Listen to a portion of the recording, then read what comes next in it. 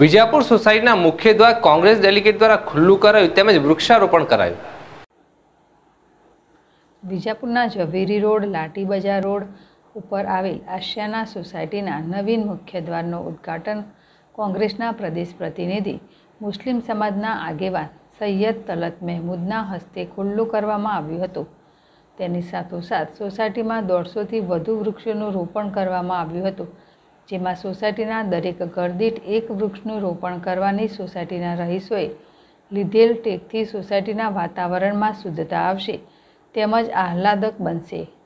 આ અંગે મુસ્લિમ અગ્રણીઓ જણાવ્યું હતું કે હાલમાં વાતાવરણમાં ફેલાતી પ્રદૂષિત હવાની સામે સ્વચ્છ હવા મળે તે હેતુ સાથે વૃક્ષો વધુને વધુ વાવવા જોઈએ.